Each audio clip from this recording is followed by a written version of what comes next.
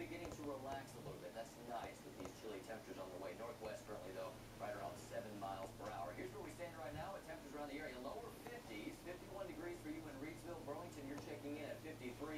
Asheboro, good evening to you. You're at 54, but you'll notice the clear skies. When you have clear skies relaxing winds, any of that heat that or lack thereof that developed in the day rises up and escapes out of the atmosphere.